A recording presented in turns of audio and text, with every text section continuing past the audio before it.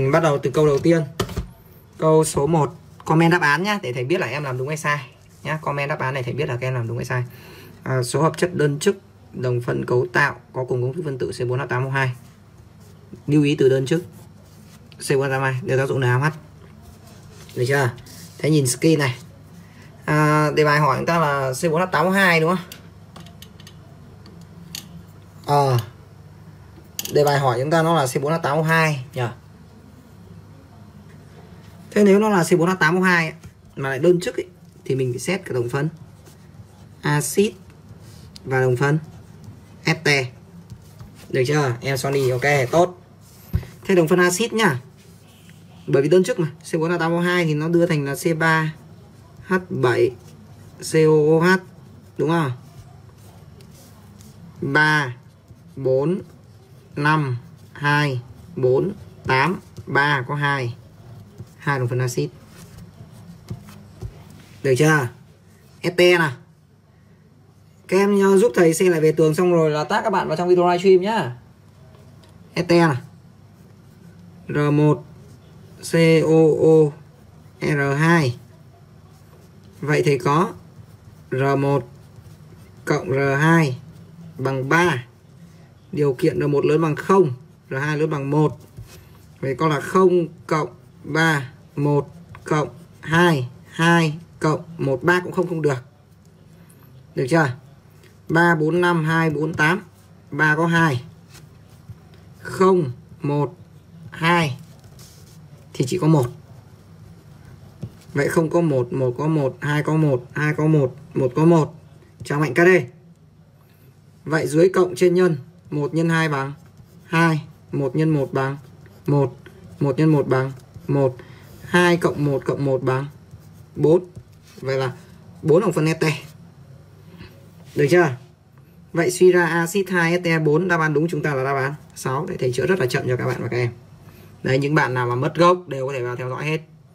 Các em giúp thầy xe lại về tường xong tác các bạn vào trong video livestream này nhá. Dân chơi nhìn phát biết ngay. Đấy, các em hiểu cái chỗ này không? Bạn nào không hiểu thì lên youtube xem lại cái chuỗi livestream à, về tìm đồng phân ete của thầy nhá. Đấy nhã phương không hiểu này kiều chân chiêu này của thầy nhiều đứa nó gà lắm. Nào tiếp tục nha tiếp tục nha.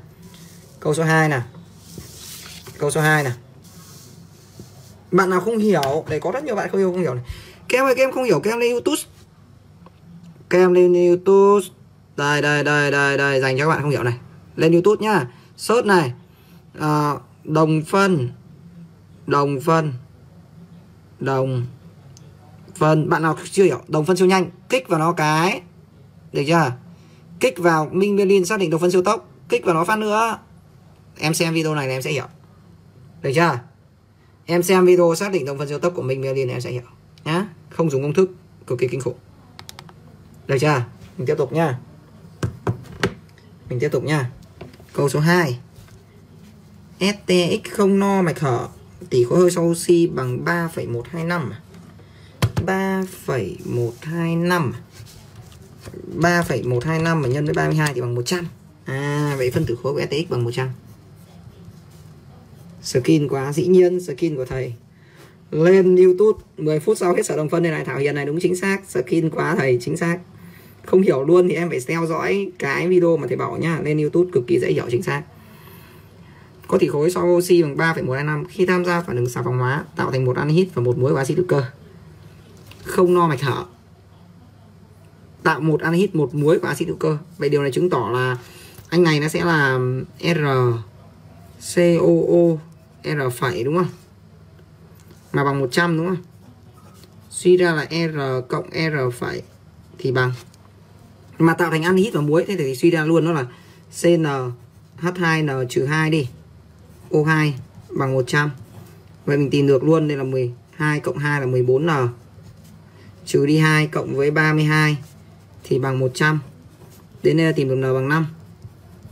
Đúng chưa? Vậy suy ra này là C5 H8 O2 nhưng mà để ra được anhydride và một muối của axit hữu cơ ấy, thì nó phải có dạng gì một anhydride và một muối axit hữu cơ, vậy nó phải là, hoặc là COOC nối đôi C, đúng không thế đầu này còn mấy 5 này, bỏ đi 3 rồi còn 2 1 2 đúng chưa? Vậy hoặc nối đôi ở đây này.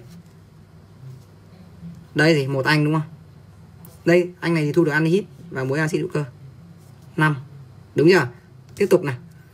Tiếp tục, vậy thì còn nối đôi nữa. À sorry. Lỗi lỗi lỗi lỗi lỗi. C 5 8 chỉ có một nối đôi cc thôi. Một nối đôi cc vậy ở đây ta sẽ có là c c c, o o, c nối đôi c. Được chưa? Được chưa? Đấy, năm. Tiếp tục nhá. Tiếp tục này. C gạch c. O o, c nối đôi c gạch c. Được chưa? Tôi đã ăn hít. Đúng không? Tiếp tục nhá.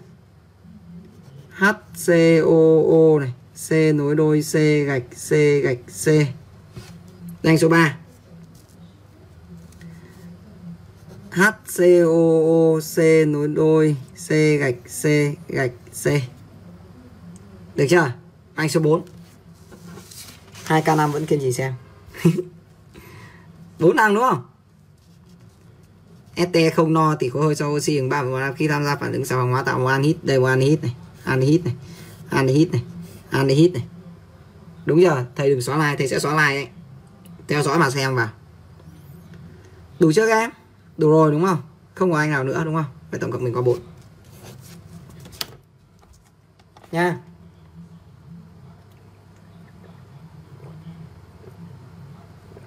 Chúng ta sang câu tiếp. Câu số 3 này câu này dễ hơn. Câu số 3 này câu số 3 này. Đun 12 các em cùng comment đáp án nhé. Vừa nãy câu này câu vừa nãy hơi khó Nên là nhiều bạn không làm được. Nhưng bây giờ sang câu số 3 thì nghĩ là dễ hơn. Các em ờ, cùng comment đáp án câu số 3 xem bằng bao nhiêu này Em bị mờ chắc là do mạng của em rồi. Không, có mấy câu này dễ dễ thôi. Thầy để có một câu khó ở đầu thôi. Dạ tí Đúng không? Các em nhớ xe về tường nhá Xong tác các bạn này. Ờ, à, 12 gam axit acetic. Acid acetic là CH3COOH 12 mà chia cho 60 thì bằng 0,2 mol. Đớp nhau với 13,8 gam ethanol. C2H5OH 13,8 chia cho 46 bằng 0,3 mol. Đến khi phản ứng cân bằng thì thu được 11 gam este. Vậy ta thu được là gì? CH3COO C2H5 Đây là dòng này dòng ban đầu Dòng phản ứng Dòng sau phản ứng Sau phản ứng thu được 11 gam este 11 chia 88 bằng 0,125 Vậy phản ứng là 0,125 Suy ra. Phản ứng là 0,125 Suy ra 0,125 À, hello Nguyễn Ngọc Nam liên kết đôi ở câu 2 không được ở đầu bởi vì như vậy nó không tạo thành anhydride bởi vì ở câu 2 yêu cầu tạo thành anhydride em nhé. Nào vậy ở đây mình chú ý này, hiệu suất. Hiệu suất thì bằng số mol phản ứng chia số mol ban đầu. Chú ý ở đây nó phải tính theo chất hết. Theo chất hết. Nếu hết thì anh này hết. Anh với 0,2 0,3 chắc chắn là CS3 COH hết. Vì vậy nên hiệu suất thì tính theo thằng CS3OH vậy sẽ bằng là 0,125 chia 0,2 chia 0,2 0,125 chia 0,2 nhân 100 62,5% đó là đúng đáp án. C. Ok chưa? Đấy, bây giờ mình sang câu tiếp theo, câu số 4 Câu số 4 này Cũng dễ thôi các em Câu số 4 cũng dễ thôi. Rất rất dễ. Đấy các bạn đang theo dõi video livestream giúp thầy xe lại về tường nhá. Xong rồi là tác các bạn của các em vào trong video livestream này giúp thầy. Được không nhỉ? Các em ơi các em nghe thầy giảng các em có hiểu không? Bạn nào hiểu thì chấm cái thầy coi này. Các em nghe thầy giảng em có hiểu không? Thầy đang chữa khá là chậm.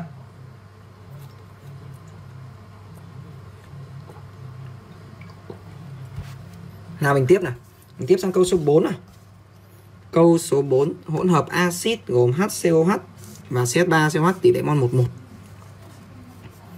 HCOOH này. CH3COOH chất hết thì giả sử nó hết bởi vì nó tỷ lệ 11 nếu mà giả sử nó hết thì thằng CH3COH là 0,1 thì CH5OH là 0,1 thì thì nó hết. Ok ht tan hương hiểu hiểu tốt. Tỷ lệ mol 11 mình đặt anh này là a thì anh này là a này. Lấy 5,3 gam thế mình có luôn 5,3 này. Thì bằng này cụm này 46a cụm này bằng 60a vậy đây thì tìm được a luôn. Này. 5,3 mà chia cho mở ngoặc đơn 46 cộng với lại 60 bằng 0,05 Vậy A có thể bằng 0,05 0,05 Mà tác dụng với lại CH5OH Chúng ta tìm được số mol của CH5OH à, 0,5,75 chia cho 46 bằng 0,125 Hiệu suất bằng 80% là 0,8 Vậy thì thu được một thằng là HCOOC2H5 một thằng là CH3COOC2H5 số mol này tính cho anh này. Thuận nhân nhân hiệu suất 0,05 nhân 0,8 0,05 nhân 0,8 bằng 0,4 các em ạ. 0,04 Vậy thì có tìm được khối lượng luôn. Nhìn kỹ nha. 0,04 đấy Thảo Hiền gọi và thầy đã trả lời nên Thảo Hiền giúp thầy xe vào trong ờ, các nhóm trong xe vào trong nhóm lớp của em nhá. 0,04 này nhân với cụm này là bằng 74 này cộng với lại này 0,04 nhân với cụm này là bằng 88 này. 6,48 các đáp án đúng chúng ta là đáp án D nhá các em lưu ý nhá. Chào Trương Thị Mỹ Phương. Hello các em. Hi. Đấy bây giờ mình mới sang các câu dễ này. Câu số 6 comment đáp án thì xem nào.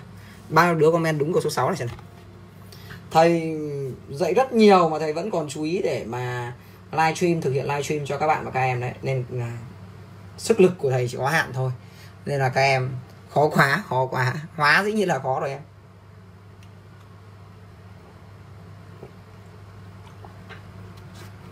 Nào, mình sang câu tiếp nào. Câu số 6 đáp án gì? Ô, độ này ít. Lục trung thức 4D đúng rồi, chính xác. Câu 6 cơ, thầy đang hỏi câu 6 câu 6 đáp án gì? Câu 6 đáp án gì nhỉ? Một ete công thức phân tử C4H8O2 khi thủy phân trong môi trường axit thu được acetaldehyde. Acetaldehyde. À, à, các em ơi, thầy nhờ các em à, bật chế độ xem chung ở trên uh, uh, tường của các em ấy để cho các bạn của em cùng có thể theo dõi được cái bài này. Ok, cảm ơn Ngọc Duyên. Thầy đọc đề, đọc đề á, chịu, thầy đau học lắm. Em cố gắng em bật mạng của em lên và xem chung fan nhá một ete công thức phân tử C4H2O2 khi thủy phân trong môi trường axit thu được acetaldehyde công thức của acetaldehyde là gì? CH3 CHO đúng không? Anh này thu được anhit này, nhưng anh này thu được là C2H5CHO anh này là gì? Không phải acetanhit đúng không? Anh này thu được ancol, vứt vứt. Anh này cũng không thu được acetanhit đâu, chỉ có anh này thôi, đúng không? Vậy đáp án đúng đáp án. B. Bỏ chết rồi sao nhiều đứa chọn A này? Acetanit anh này mà chết rồi, lỗi hết rồi, tại sao lại chọn a? Acetaldehyde là aldehyde acetic mà. Acetic, lỗi kinh quá. Đây là anhydride acetic và anh này thủy phân mới ra được anhydride acetic, tất cả đều bị mất lé rồi. Đáp án đúng, đáp án B, Đức, Cao Quang Hảo, Trung Phan, Đức, chính xác, Lương Dương, chính xác, Vân Phạm, chính xác đấy, may mà thầy tổng ôn cái này không là toi. Đúng không? Rất may mắn, một chấm cho thầy mà rất biết chỗ để mà bọn em bị nhầm lẫn nhiều nên thầy phải kích đúng ở chỗ đây cho các em. Nào tiếp nào. Hello, vô tí không câu số 7 nào. Đến câu nào thầy đọc cả đề đi thầy ạ. Nhìn không rõ đề. Sao lại nhìn không rõ đề? Em bật lại chế độ mạng của em chứ. Chữ to này rất là kỹ. Đúng rồi dạy hết. Dạy ôn luôn trần nha. Câu số 7 này. X là một no đơn chức tỷ khối hơi so với ch4 hello luôn trần. Là 5,5 vậy thì tìm được phân tử khối luôn. 5,5 nhân với lại 16 bằng 88 vậy no đơn chức 88 à? 88 vậy công thức của nó là CnH2nO2 mà phân tử khối bằng 88 suy để có này cụm này là 14n cộng 32 mà bằng 88 suy ra n bằng 4 được chưa? Vậy là C4H8O2 mà nếu đen đun 2,2 gam x vậy thì tìm được số mol bằng 2,2 chia 88 bằng 0,025 0,025 vào Na hoắt dư thì thu được 2,05 gam muối là RCOONA số mol bằng 0,025 khối lượng 2,05 gam. Vậy mình có R cộng với 44 cộng 23 thì bằng 67 nhá. Thì bằng 67 được chưa? Thì bằng 2,05 chia cho 0,025 2,05 chia cho 2,05 chia 0,025 bằng 82 Vậy R của thầy bằng. 82 mà trừ đi 67 15 R bằng 15 vậy chắc chắn R là CH3 đúng cả nhà Vậy suy ra đầu này cho sẽ là gì nhỉ? CH3COO Đúng không? Bây giờ ta có C4 này. Vậy bỏ hai carbon, vậy chỗ này còn là C2 H8 bỏ đi 3 này còn H5 CH3CO C2H5 đáp án đúng, đáp án C. Ok dễ không? Các em các em hiểu bài không? Cả nhà có hiểu bài không nhỉ? Cổ vũ đầy cái chắc nào. Bạn nào quên cho xe này, xe lại về tường cổ vũ đầy cái. Bởi vì là tí nữa thầy còn live stream cho nhóm live vip. Thế nên là cực kỳ cố gắng để lên đây live stream cùng với cả nhà đấy. Hết sức cố gắng luôn. Nào, mình có nào. Tiếp. Câu tiếp theo nào câu số 8 nào các em comment đáp án đi. Làm đúng hay làm sai không sao cả. Một lần sai là một lần nhớ. Đấy em chỉ thành công khi em sai cực kỳ nhiều. Thầy đang giúp đỡ cho tất cả các bạn và các em. Câu số 8 2 ST đơn chức XY tổng phần nhau này. Hóa hơi 1,85 gam x thì thu được thể x hơi đúng bằng 0,7 gam liter này. Đây phải phân tử khối luôn nhỉ? Tìm số monitor bằng 0,7 chia cho 28 Vậy thì tìm phân tử khối là 1,85 chia n bằng 0,7 74 ST đơn trước là 74 74 mình thuộc luôn, nó là C362 thôi. Vậy là có 3 carbon. Thằng này 3 con đủ này. Thằng này 5 carbon vớt. Thằng này 4 carbon vớt. Thằng này tiếp vớt nốt. Đúng không? Chỉ có 3 C362 mà. HCO CH5 và CH3CO CH3 Chính xác. Chả cần tìm công thức phân tử. Rồi ok. Ok, giờ em hiểu rồi. Ok. Mình có đáp án đúng là mình đáp án à tiếp tục nha, tiếp tục nha. Câu số 9 này. Câu số 9 thầy dạy cực kỳ chậm cho các em đấy. Câu số 9 có rất nhiều bạn đang khát tổng ôn và thầy đang tổng ôn cho tất cả các bạn và các em. Câu số 9 cũng là một câu cực kỳ dễ rồi các em đừng nhìn lên đề cao đẳng hay đề đại học mà sợ nhá. Câu này cực kỳ dễ. Chú ý nghe thầy giảng từ từ cho mà hiểu. Chất tích tác dụng với lượng vừa đủ NaOH sau đó cô cạn, thu được dung dịch chất rắn Y và chất hữu cơ Z.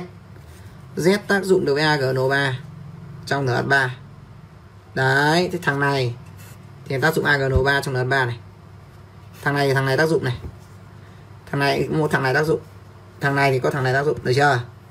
Thế tiếp tục này. X thì viết tổng hợp chúng ta nhìn rõ. X cộng với NaOH thu được chất rắn y và chất hữu cơ Z. Chất rắn y này chắc chắn nó là muối.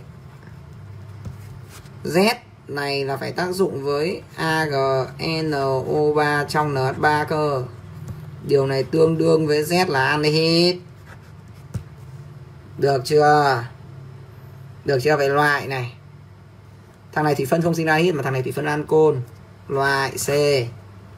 Được chưa? Z tác dụng với thu được chất hữu cơ T. T là muối amoni được chưa? Cho T tác dụng với NaOH. Lại thu được Y T lại thu được Y vậy tương đương với Z, T Y cùng số nguyên tử carbon. Tại sao nhỉ? Tới qua đây không thay đổi carbon này. Qua đây không thay đổi carbon này. Vậy là Z, T Y cùng số nguyên tử carbon suy ra số nguyên tử carbon của Z bằng số nguyên tử carbon của Y của T, Z bằng Y số nguyên tử carbon của Z bằng số nguyên tử carbon của Y thằng này một carbon, hai carbon, vượt. Hai carbon hai carbon lấy.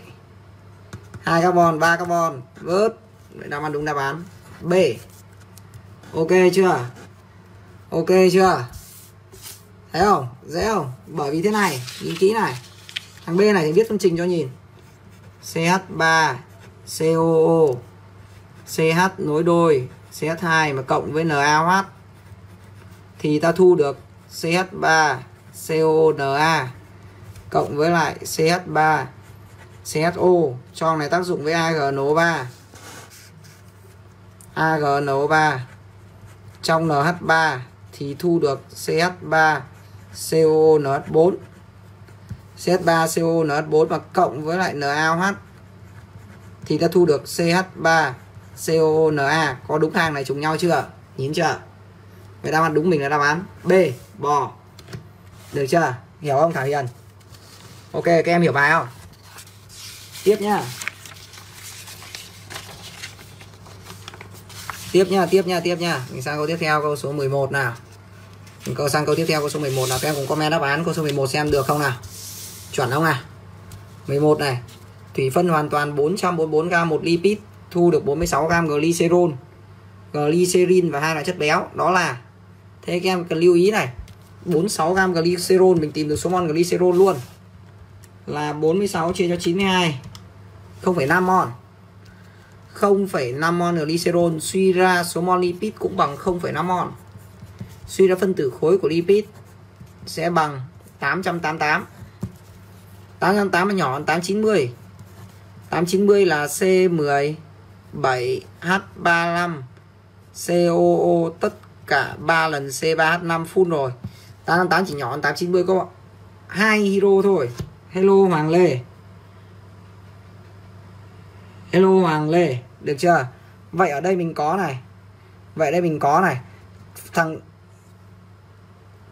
Thằng uh, lipid này nhỏ hơn thằng tristerin là hai đơn vị hero vậy chứng tỏ lipid này có một nối đôi CC tương đương lipid có một nối đôi CC hay suy ra trong gốc của nó phải có một nối đôi CC đúng chưa? Vậy thì nó chỉ có thể là C17H35 đây bởi vì à, thằng này 890 nên thằng này phải chắc chắn phải là C17H35 rồi và một thằng có một nối đôi nữa là C17H33 nên đáp án đúng mình là đáp án. Hết mực rồi. Các em ơi. Bút của thầy đã bị hết mực. Đợi thầy xíu, thầy tìm bút. Hy vọng. Hy vọng hy vọng còn mực. Hết mực nữa. Hết mực nữa.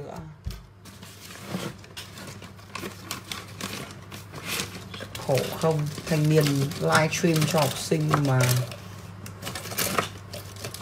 không kiếm được nổi với một cái bút. Hy vọng cái này còn mực. Cái này còn mực nhưng mà phải cầm này vậy. Được chưa? Vậy đáp án đúng của chúng ta là đáp án D nhá. Thầy giáo nghèo quá. Không có một cái bút để viết cho học sinh một chấm để thầy tìm được bút nào các em bút này bây giờ mới là quan trọng.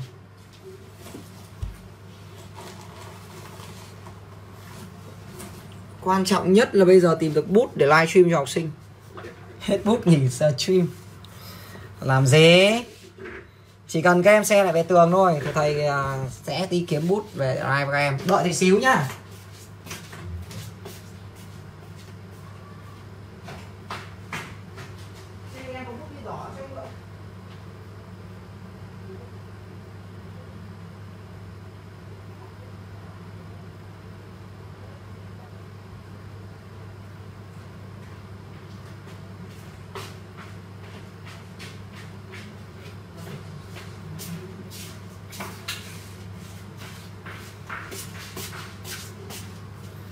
Thầy phải đi kiếm một liên hệ công ty bút.